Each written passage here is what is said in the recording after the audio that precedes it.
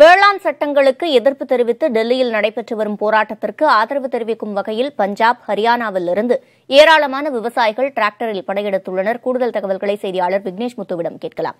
விக்னேஷ் முத்து விவசாயிகள் தொடர் போராட்டத்தில் ஈடுபட்டிருக்கக்கூடிய நிலையில டிசம்பர் மூன்றாம் தேதி பேச்சுவார்த்தை நடத்த அழைப்பு விடுக்கப்பட்டிருக்கு. இந்த பேச்சுவார்த்தையில் சுமூக தீர்வு எட்டப்படும் என்ற நம்பிக்கை விவசாயிகள் கிட்ட இருக்குதா?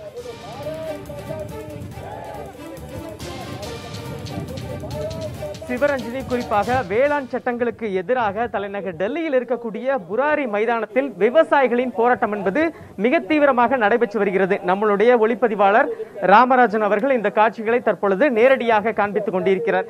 குறிப்பாக இந்த போராட்டத்தில் ஈடுபட்ட விவசாயிகளின் கோரிக்கை என்பது வேளாண் சட்டங்களை உடனடியாக முழுமையாக திரும்ப பெற வேண்டும் என்பதுதான். தற்பொழுது கர்நாடகா குஜராத் உள்ளிட்ட பல வட மாநிலங்களைச் சேர்ந்த விவசாயிகள் அதிக அளவில் இங்கு குவிந்திருக்கிறார்கள்.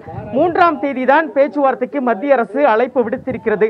ஆனால் மத்திய அரசை பொறுத்தமட்டில் இந்த மூன்று வேளாண் சட்டங்கள் சில திருத்தங்களை மட்டுமே செய்வதற்கு வாய்ப்பு இருப்பதாக கூறப்படுகிறது. ஆனால் அதே நேரத்தில் வேளாண் சட்டங்களை முழுமையாக திரும்ப பெற இயலாது என திட்டவட்டமாக இருக்கிறது. அதனால் விவசாயிகள் சார்பில் பேச்சுவார்த்தை என்பது ஒரு கண்மூடித்தனமாக இருக்கிறது. எங்களுக்கு ஒரு உறுதி அளிக்க விட வேண்டும் என்று தெரிவிக்கிறது. காலவரையற்ற போராட்டம் பஞ்சாப் ஹரியானா உள்ளிட்ட அனைத்து மாநில விவசாயிகளின் சார்பில் தொடர்ச்சியாக நடைபெறக்கூடும். ஏனென்றால் இந்த விவசாய போராட்டத்தில் தற்பொழுது கலந்து கொண்டிருந்த விவசாயிகள் உணவுகளை சமைத்து சாப்பிட்டுக் கொண்டிருக்கிறார்கள். இதனால் இது ஒரு நிரந்தர போராட்டமாக நாங்கள் செய்ய இருக்கிறோம் என தெரிவித்திருக்கிறார்கள்.